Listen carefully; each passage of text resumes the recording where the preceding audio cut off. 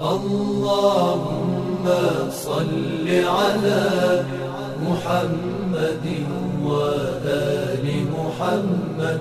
اللهم صل على محمد وآل محمد. أعوذ باللہ من الشیطان الرجیم بسم اللہ الرحمن الرحیم وصلی اللہ علی محمد و وآلہ الطیبین الطاہرین ولعنت اللہ علی اعدائہم اجمعین من یوم ظلمہم الى لقاء یوم الدین. اما بعد، فقد قال اللہ الحکیم فی محکم کتابہ الکریم وفرقانه الحمید. بسم اللہ الرحمن الرحیم. واللہ اخرجکم من بطون امہاتکم لا تعلمون شیئا وجعل لکم السمع والابصار والافئدة لعلکم تشکرون سب سے پہلے آپ تمام دوستوں کی خدمت میں، آپ تمام سننے والوں سامعین اور ناظرین کی خدمت میں۔ السلام علیکم ورحمۃ اللہ وبرکاتہ۔ عزیزان گرامی، ہماری گفتگو توحید باری تعالی پہ چل رہی ہے۔ اور اب تک گزشتہ کی تین نشستوں میں آپ کی خدمت میں ہم نے کچھ اہم نکات بیان کیے تھے، جن میں سے دو نکات کی طرف میں اشارہ کرنا چاہوں گا اور اس کے بعد آج کی گفتگو اور بات کو ہم آگے بڑھائیں گے۔ پہلا نقطہ یہ ہے کہ پروردگار عالم نے اپنی شناخت کے لیے اپنی معرفت کے لیے ہمیں کچھ راستوں کی رہنمائی اور ہدایت کی ہے۔ سنوریم آیاتنا فی الآفاق وفی انفسہم۔ کہ پروردگار عالم یہ فرما رہا ہے سورہ فصلت میں کہ ہم انہیں دکھائیں گے آفاق میں اس کائنات کے اندر۔ اپنی نشانیوں کو وفی انفسہم، اور ان کے نفوس میں اور ان کی جانوں کے اندر اپنی نشانیوں کو دکھائیں گے۔ پہلا نقطہ کہ پروردگار عالم اس کائنات میں اپنی بے انتہا اور لامتناہی کہ جن کا انسان تصور نہیں کر سکتا اپنی نشانیاں اس نے، اپنی آیات اور بہت ساری علامتیں اور نشانیاں اس نے چھوڑ رکھی ہیں کہ انسان ان نشانیوں کے ذریعے سے اپنے رب کی، اپنے پروردگار کی اور اپنے حقیقی مالک و خالق کی معرفت حاصل کر سکے۔ اور دوسری اہم بات اور دوسرا اہم نقطہ جو آپ کی خدمت میں پچھلی تین نشستوں میں بیان کیا تھا وہ یہ کہ جب انسان کے لیے پروردگار عالم نے اتنی نشانیاں رکھی ہیں، آفاق کے اندر بھی، اس کی جان کے اندر بھی، انسان کے نفس کے اندر بھی، تو اب ان نشانیوں کے ذریعے سے پروردگار تک پہنچنا ہر انسان تک، انسان کا فرض ہے اور ضروری ہے اس کے لیے۔ کہ وہ اپنے خالق حقیقی کو پہچانے، اس کی معرفت حاصل کرے، اس کی شناخت اسے ہو جائے، اسے پہچان لے، کما حق کہو جتنا اس کا ظرف ہے، جتنی اس کی صلاحیت اور استعداد ہے، پروردگار عالم نے اسے عطا کی ہے، اس استعداد کے مطابق اسے پہچان لے۔ اور ہمیشہ اپنے آپ سے یہ سوال کرے کہ میں کہاں سے آیا ہوں؟ مجھے کہاں جانا ہے اور اس وقت میں کس عالم میں ہوں، کس کائنات میں ہوں، کس دنیا میں ہوں؟ یہ تین سوال تھے۔ اور اس سے بھی ایک اہم اور بنیادی سوال اور اساسی سوال جو آپ کی خدمت میں پیش کیا تھا وہ یہ کہ انسان یہ سوچے اور یہ سوال اپنے آپ سے کرے کہ مجھے کیوں بھیجا گیا ہے اس کائنات میں؟ مجھے کیوں خلق کیا گیا ہے؟ اگر انسان ان چار سوالوں کے جواب کو تلاش کرے، تو پھر وہ جب اس کا جواب پالے گا ان چار سوالوں کا، تو اسے اپنے رب کی، اپنے خالق حقیقی کی اور منعم حقیقی کی اسے معرفت حاصل ہو جائے گی۔ اور معرفت کے، پھر ہم نے تین راستے آپ کی خدمت میں بیان کیے تھے کہ پہلا راستہ عقلی راستہ ہے کہ انسان کی عقل انسان کو رہنمائی کرتی ہے، انسان کی ہدایت کرتی ہے، اسے راستہ دکھاتی ہے کہ وہ اپنے پروردگار کو پہچانے۔ اور اس پہ کچھ آیات آپ کی خدمت میں بطور تائید قرآن مجید سے پیش کی تھی۔ آج کی گفتگو میں آپ کی خدمت میں ایک انتہائی اہم محرک، چونکہ محرک اللہ کو پہچاننے کے لیے پہلا محرک انسان کی عقل ہے، جو انسان کو انسان کی عقل انسان کو حرکت میں لے کے آتی ہے، اسے اکساتی ہے، اسے ابھارتی ہے اس بات پر کہ جس مالک نے، جس خالق نے اسے خلق کیا ہے، جس رب نے اس کی پرورش کی ہے، جو رازق اسے رزق دے رہا ہے، اسے پہچانے، اس کی معرفت حاصل کرے، یہ عقل کا کام ہے۔ عقل اسے اس بات پر اکساتی ہے۔ اور دوسری چیز یا دوسرا محرک جو انسان کو خدا کی معرفت کے لیے اکساتا ہے اور ابھارتا ہے، وہ کیا ہے؟ وہ ہے آتفا محبت، احسان۔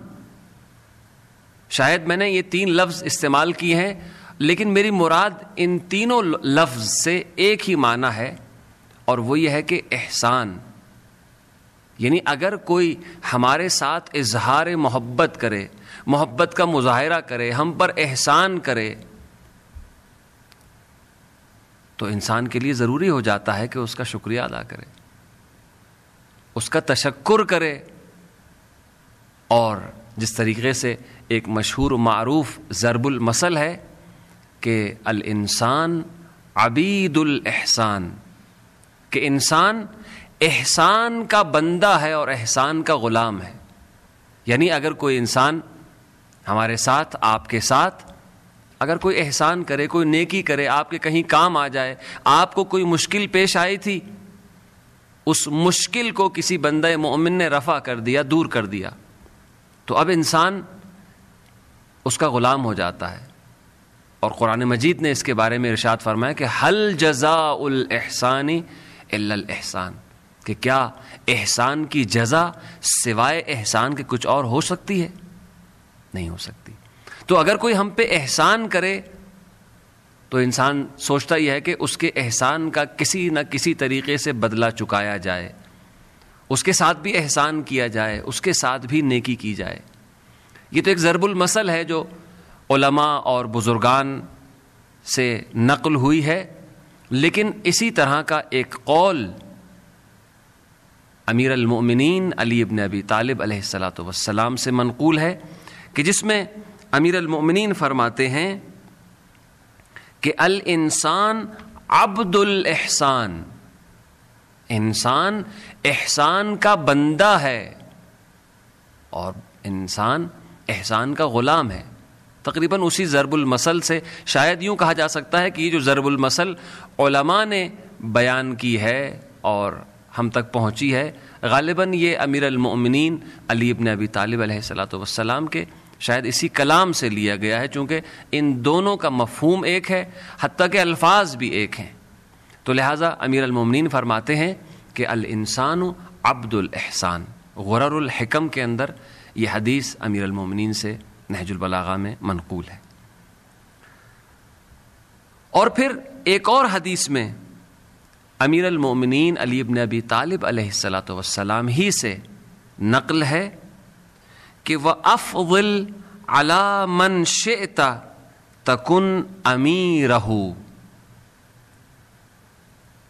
اگر تم چاہتے ہو کہ کسی کے امیر بن جاؤ اور اس پر حکومت کرو اس پر حکومت سے مراد یعنی اس کے دل پہ اگر تم حکومت کرنا چاہتے ہو، تو اس کے ساتھ نیکی کرو، اس کے ساتھ اچھا سلوک کرو، اس کے ساتھ نیکی کا برتاؤ کرو یعنی اس پر احسان کرو۔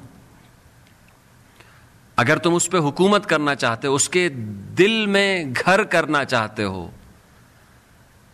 اور اس کے دل پر اگر حکومت کرنا چاہتے ہو، تو اس کے ساتھ احسان کرو۔ چونکہ ہر انسان احسان کا غلام ہے، احسان کا بندہ ہے۔ اگر ہمارے ساتھ کوئی احسان کرے، تو ہم بھی چاہتے ہیں کہ اس کے احسان کا جواب احسان سے دیا جائے۔ اور اگر ہم کسی کے ساتھ احسان کریں، تو یقیناً وہ بھی ایک انسان ہے۔ وہ بھی ہمارے احسان کا بدلہ احسان کے ذریعے سے چکانا چاہے گا۔ تو اب اس بات سے یہ بات ثابت ہوتی ہے کہ انسان کے ساتھ اگر کوئی احسان کرے نیکی کرے، محبت کا سلوک کرے، کوئی اچھائی کرے، تو انسان اس کا غلام ہو جاتا ہے۔ تو اب یہ جو محرک ہے، جو ہر انسان کے اندر کم و بیش پایا جاتا ہے، اگر کسی کی بھی فطرت سالم ہے، اس کے اندر یہ محرک پایا جاتا ہے کہ احسان کا بدلہ احسان ہے۔ اگر کسی نے کوئی نیکی کی ہے، کسی نے کوئی نعمت عطا کی ہے کوئی ہدیہ دیا ہے، کوئی تحفہ دیا ہے تو اس کا شکریہ۔ کم سے کم جو انسان کر سکتا ہے، اپنی زبان سے اس کا شکریہ ادا کرتا ہے۔ کہتا ہے کہ آپ کا بہت بہت شکریہ کہ آپ میرے کام آئے، آپ نے میرے ساتھ یہ نیکی کی، آپ نے میرے ساتھ فلاں نیکی کی، آپ نے مجھ پر احسان کیا ہے۔ انسان کتنے اچھے اچھے الفاظ کے ذریعے ذریعے سے اس کا شکریہ ادا کرتا ہے۔ بس یہ ایک حقیقت ہے اور اسی محرک کے ذریعے سے یعنی ایک ایسا محرک ہے جو انسان کو ابھارتا ہے، انسان کو اکساتا ہے، اس بات کی طرف کہ وہ اپنے منعم کا یعنی جس نے اسے نعمتیں عطا کی ہیں، جو اس کا منعم ہے۔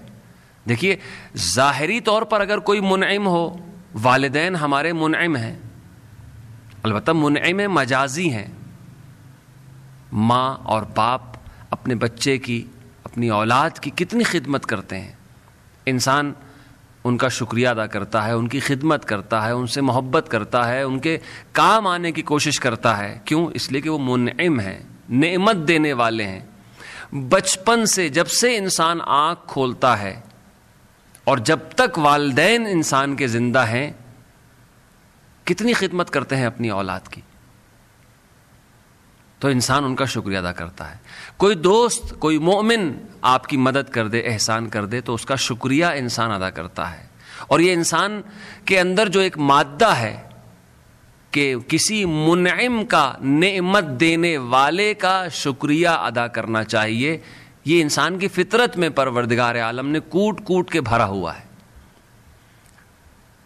تو اب ہم تلاش کریں، ڈھونڈیں اور جستجو کریں کہ جب والدین کا شکریہ ادا کرنا ضروری ہے، کسی مومن کا شکریہ ادا کرنا ضروری ہے کہ جس نے ہماری مدد کی، جس نے ہم پہ احسان کیا، تو انسان سوچے اور تصور کرے اور فکر کرے کہ وہ منعم، وہ خالق اور وہ نعمتیں عطا کرنے والا کہ جس نے ایک ایک لمحہ انسان کو ہزاروں نعمتوں سے نوازا ہے، لاکھوں نعمتوں سے نوازا ہے۔ کیا انسان کو یہ نہیں چاہیے کہ اس کا شکریہ ادا کرے، اس کا تشکر کرے اور اس کی اطاعت کرے؟ وہ پروردگار اور وہ خالق، میں نے آپ کی خدمت میں عرض کیا، ایک لمحے اور لہجے میں اگر انسان سوچے اور اپنے اطراف میں چاروں طرف نگاہ کرے، اپنی جان میں جو اس کی جان ہے، جو اس کا بدن ہے، چاہے وہ بدن جسمانی ہو یا اس کی روح ہو، اس کے اندر پروردگار نے ہزارہ نعمتوں کو چھپا رکھا ہے۔ کتنی نعمتیں انسان کو عطا کی ہیں۔ سانس لینے کی نعمت۔ اور روایات کے اندر ہے کہ سانس لینے یعنی سانس جب انسان لیتا ہے اور اندر جاتی ہے سانس، آکسیجن کو اپنے بدن میں جذب کرتا ہے انسان۔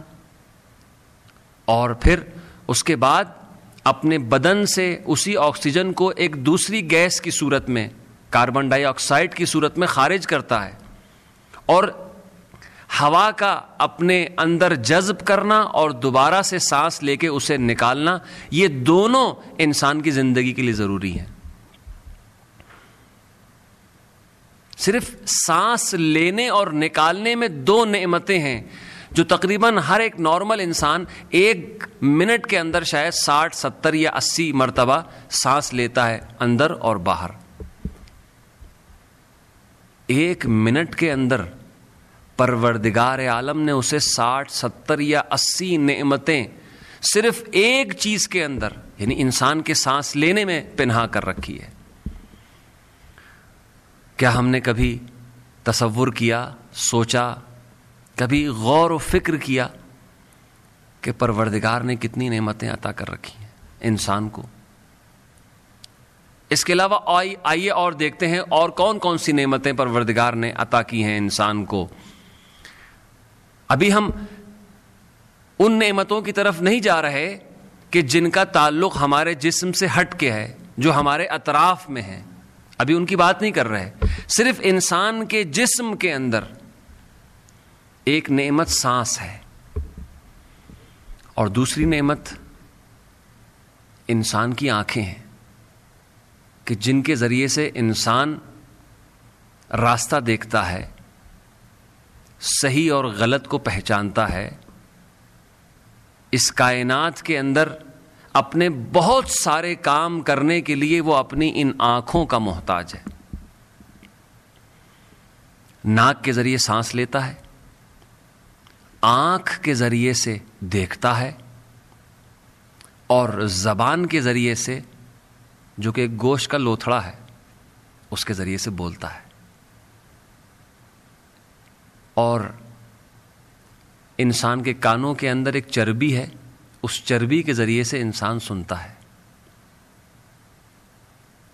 دیکھیے کتنی نعمتیں پروردگار عالم نے انسان کو عطا کی ہیں کہ وہ منعم کہ جس نے یہ نعمتیں دیکھ، دے کر ہم سے کبھی پوچھا بھی نہیں، کبھی نہ اس نے احسان جتایا ہے۔ یہ ہمیں دے کے چھوڑ دی ہیں، یہ نعمتیں، ہمیں چھوڑ دیا ہے۔ صرف یہ کہا ہے کہ میری معرفت حاصل کرو، مجھے پہچانو۔ کبھی ہم سے وہ دنیا میں آنے کے بعد بہت سارے لوگ ایسے ہوتے ہیں، احسان کرتے ہیں، نیکی کرتے ہیں، لیکن روز روز جتاتے ہیں کہ ہم نے آپ پر یہ احسان کیا، ہم نے آپ کو یہ دیا۔ جب آپ پر مشکل آ پڑی تھی تو ہم آپ کے کام آئے۔ کتنے دوست احباب ایسے ہیں جو جتاتے ہیں اپنے متیں دینے کے بعد۔ کچھ کام آنے کے بعد، کوئی نیکی کرنے کے بعد، احسان کرنے کے بعد جتاتے ہیں۔ لیکن پروردگار عالم نے انسان کو پیدا کرنے کے بعد چھوڑ دیا اسے۔ اما شاہ کر رہا ہوں اما کفورا۔ اب تم ان چیزوں کے ذریعے سے اچھائی کا کام کرو، نیکیاں کرو اور میرا شکر ادا کرو۔ یا اما کفورا، چاہے تم کفر اختیار کرو، چاہے تم گمراہ ہو جاؤ۔ ہاں لیکن ایک وہ وقت ضرور آئے گا کہ جہاں پروردگار عالم انسان سے ہر ہر چیز کا، ہر ہر کام کا، ہر ہر ذرے کا سوال کرے گا۔ فمن یعمل مثقال ذرة خیر یرا ومن یعمل مثقال ذرة شر یرا کہ انسان نے جو کچھ کیا ہے، ایک مسقال ذرے کے برابر بھی اگر کوئی اچھائی کی ہے تو اس کا اسے جواب دینا پڑے گا۔ وہاں اس سے سوال ہوگا کہ تم نے اپنی آنکھوں کے ذریعے کیا کیا، اپنے کانوں کے ذریعے کیا کیا، اپنی زبان کے ذریعے کیا کیا، اپنے ان ہاتھوں کے ذریعے سے تم نے کیا کیا، اپنے قدموں کے ذریعے سے، پاؤں کے ذریعے چل کے تم کہاں کہاں گئے۔ اتنی نعمتیں عطا کی ہیں۔ ان نعمتوں کے عطا کرنے کے بعد وہ جتلاتا بھی نہیں ہے۔ تو کیا اس منعم کا اور اس منعم حقیقی کا شکریہ ادا نہیں کرنا چاہیے۔ اب آئیے ہم کچھ آیات کی طرف، جو قرآن مجید میں اسی نقطے کی طرف اشارہ کر رہی ہیں۔ چلتے ہیں کہ پروردگار عالم سورہ نحل کی آیت نمبر اٹھتر میں، آیت نمبر سیونٹی ایٹ میں ارشاد فرماتا ہے، اعوذ باللہ من الشیطان الرجیم۔ واللہ اخرجکم من بطون امہاتکم لا تعلمون شیئا کہ پروردگار وہ ہے کہ جس نے تمہاری ماؤں کے بطن سے تمہیں نکالا کس حال میں نکالا کہ لا تعلمون شیئا کہ تم اس وقت کچھ بھی نہیں جانتے تھے انسان جس وقت دنیا میں آتا ہے واقع کچھ نہیں جانتا نہ وہ بول سکتا ہے، نہ وہ اچھی طریقے سے دیکھ سکتا ہے، اس کے اندر کوئی طاقت اور قدرت نہیں ہوتی۔ اپنا دفاع کرنے کی طاقت نہیں ہوتی۔ جب وہ ماں کے پیٹ سے نکلتا ہے اور اس دنیا میں قدم رکھتا ہے، اور اس کے بعد پروردگار عالم اپنی نعمتوں کو گنوا رہا ہے کہ دیکھو میں نے تمہیں کون کون سی نعمتیں دیں۔ وجعل لکم السمع۔ میں نے تمہیں سننے کے لیے کان دیے۔ ول ابسارا اور میں نے تمہیں آنکھیں دی دیکھنے کے لیے بسارت دی ول اف اور تمہیں قلب عطا کیا، دل عطا کیا، لعلکم تشکرون، تاکہ تم شکر ادا کر سکو۔ شاید تم دیکھیے یہاں پر بھی پروردگار یہ نہیں کہہ رہا کہ تم شکر ادا کرو، حکم نہیں دے رہا، لعلکم تشکرون۔ امید ہے کہ تم شاید شکر ادا کرو گے پروردگار نے کتنی نعمتیں انسان کو عطا کی۔ یہ ایک آیت ہے۔ دوسری آیت سورہ نحل ہی کے اندر ہے۔ آیت نمبر چودہ۔ کہ جس کے اندر پروردگار عالم ارشاد فرماتا ہے، اعوذ باللہ من الشیطان الرجیم۔ وهو الذي سخر البحر لتأكلوا منه طري، لحما طريا وتستخرجوا منه حلية تلبسونها وترى الفلك مواخر فيه ولتبتغوا من فضله لعلكم تشكرون۔ سورہ نحل کی آیت نمبر چودہ کے اندر کیا ارشاد فرماتا ہے؟ کہ وہ پروردگار، وہ مالک وہ ہے کہ جس نے سمندروں کو، سمندر کو تمہارے اختیار میں دے دیا، تمہارے لیے مسخر کر دیا، اسے تسخیر کر دیا تمہارے لیے، تاکہ تم اس سمندر سے نکلنے والی جو نعمتیں ہیں بالخصوص، ان میں سے ایک اہم ترین نعمت گوشت ہے۔ انواع و اقسام کی حلال مچھلیاں ہیں اور ان کا گوشت ہے۔ تو پروردگار اشارہ فرما رہا ہے اس بات کی طرف۔ کہ وہ پروردگار کے جس نے تمہارے لیے دریا کو یعنی سمندر کو مسخر کر دیا، تسخیر کر دیا تاکہ تم تازہ گوشت کھا سکو۔ اور اس کے بعد اسی سمندر سے تمہاری زینت اور تمہارے لباس کے لیے پروردگار عالم نے چیزیں وہاں پنہا کر رکھی ہیں۔ اور پہننے اور زینت والی سجنے والی، سجانے والی آرائش کی چیزیں پروردگار عالم نے اس میں رکھی ہیں، تا اور تم وہاں سے اسے نکال سکو، استخراج کر سکو۔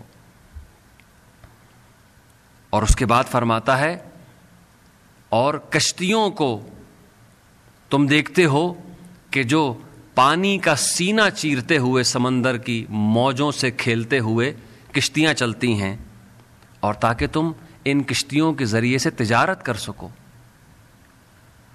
اور اس کے بعد، اور خدا کے فضل سے تم بہرہ مند ہو سکو، فائدہ اٹھا سکو۔ اور یہاں پر بھی جو آخری نقطہ ہے، اس کے اندر پروردگار عالم ارشاد فرماتا ہے، یہاں پر بھی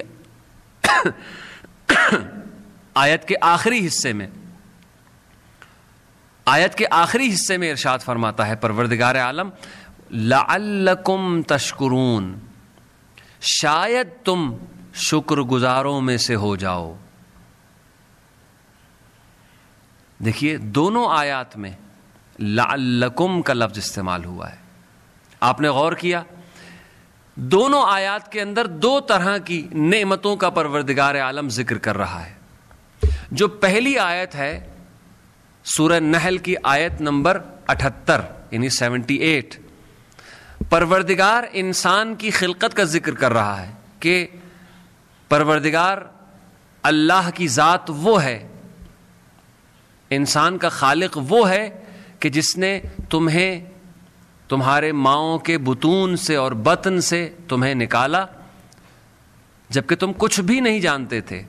اور اس کے بعد وجہ الکم السم اول ابسار تمہارے لیے پروردگار نے کون کون سی نعمتیں تاکہ تمہیں؟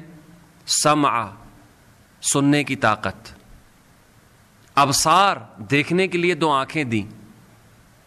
ول افیدا اور تمہارے لیے قلب اور دل کو قرار دیا۔ یہ وہ نعمتیں ہیں کہ جن کا تعلق انسان کے جسم سے ہے۔ انسان کی روح سے ہے۔ جب تک یہ چیزیں نہ ہوں، انسان دنیا میں کام نہیں کر سکتا۔ سننے کے بعد انسان کچھ سیکھ سکتا ہے۔ دیکھنے کے بعد کچھ دیکھ سکتا ہے۔ دیکھنے کے بعد کچھ حاصل کر سکتا ہے۔ اسے رہنمائی حاصل ہو سکتی ہے۔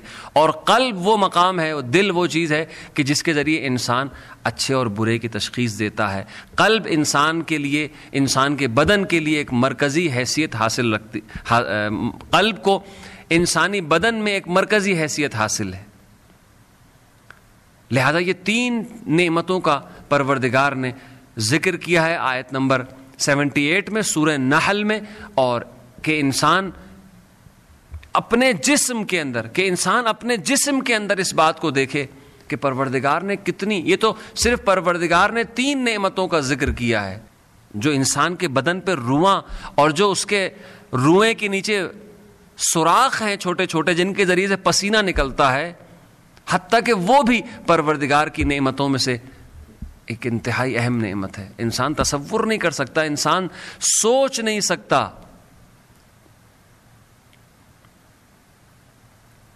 اور دوسری آیت میں، آیت نمبر چودہ میں یعنی سورہ نحل کی آیت نمبر چودہ میں پروردگار ان نعمتوں کا ذکر کر رہا ہے کہ جس کا تعلق انسان کے بدن سے نہیں ہے، بلکہ انسان کے ارد گرد جو مختلف نعمتیں ہیں، ان میں سے ایک نعمت کا پروردگار نے ذکر کیا ہے اور وہ ایک نعمت یہی دریا ہے، یہی پانی ہے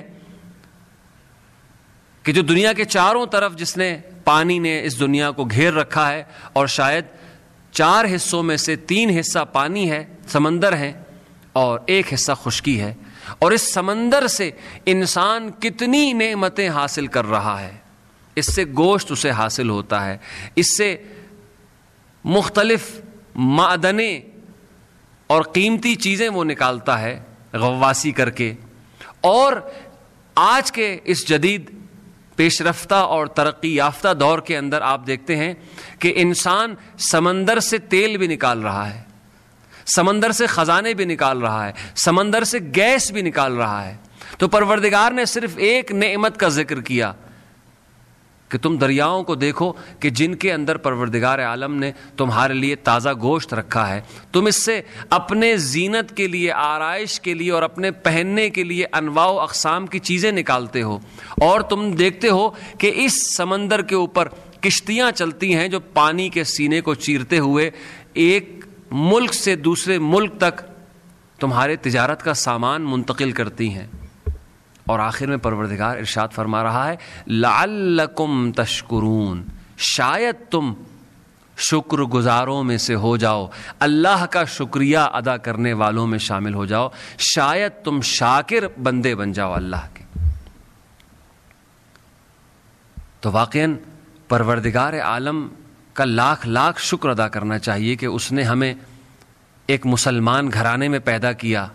لیکن عزیزان گرامی، مسلمان گھرانے میں پیدا ہونا ہمارا کوئی امتیاز نہیں ہے، بلکہ امتیاز ہمیں اس وقت حاصل ہوگا کہ ہم مسلمان گھرانے میں پیدا تو ہوئے ہیں، اس پہ شکر ادا کرنا چاہیے۔ لیکن اس کے بعد جو دوسرا مرحلہ ہے، اب جو ہماری ذمہ داری یہاں سے شروع ہوتی ہے کہ ہم اس منعم حقیقی کا شکریہ ادا کریں، اس کی نعمتوں پر اور اس کی معرفت حاصل کرنے کی کوشش کر سکیں۔ انشاءاللہ آئندہ کی گفتگو میں ایک اور محرک جس کے ذریعے سے انسان پروردگار کی صحیح شناخت حاصل کر سکتا ہے، اس پہ گفتگو کریں گے۔ انشاءاللہ اس وقت تک کے لیے مجھے اور میرے تمام دوستوں کو اجازت دیجیے فی امان اللہ والسلام علیکم ورحمۃ اللہ وبرکاتہ۔